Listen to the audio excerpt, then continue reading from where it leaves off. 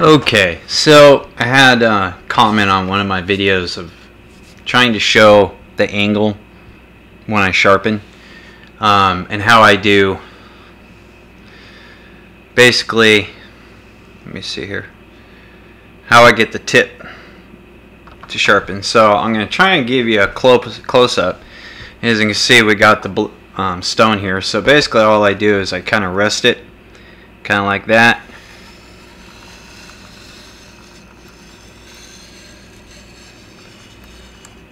And as I get close, I got to change the angle for the tip.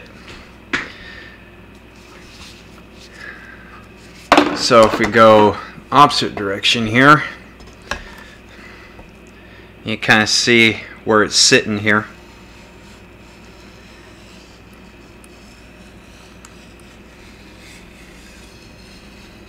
And then I just pull up to get that. And no, this does not create a secondary bevel on your blade.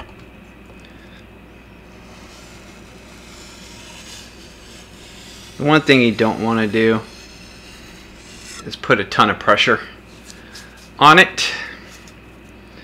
I am sitting down, so it's kind of difficult. So this is how I do it.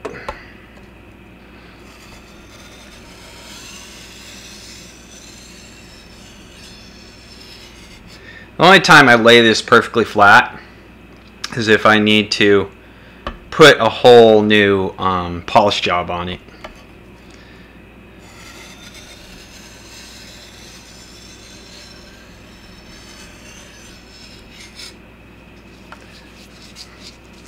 That's the only time I do that.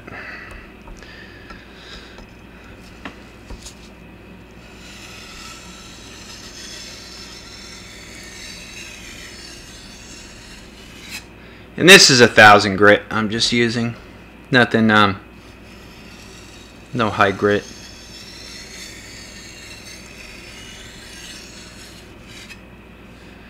So.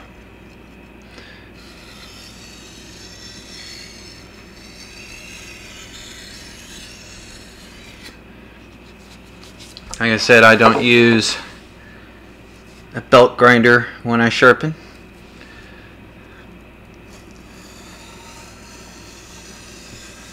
For the simple fact,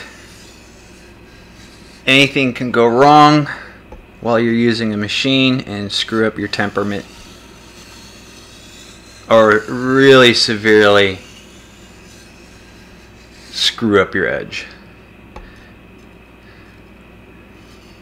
And you really don't want that. But it takes time and it takes patience.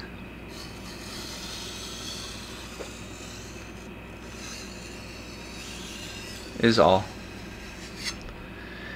And basically if you see, I can't even get my thumb in there. So I'm pretty low.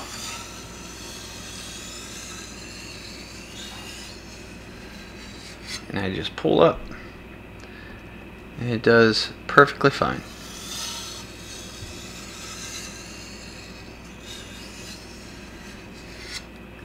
And as always, I'm using the Kuromaku stone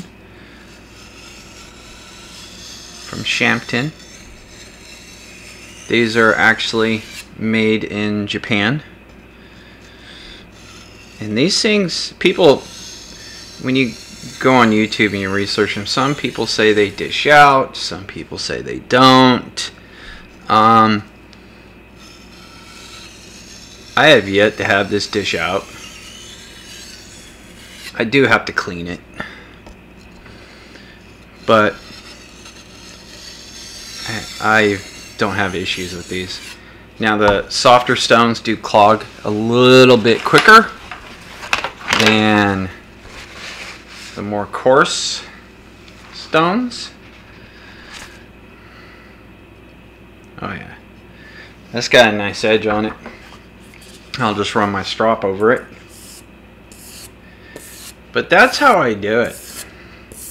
It's just, you gotta take patience getting it done. That's all.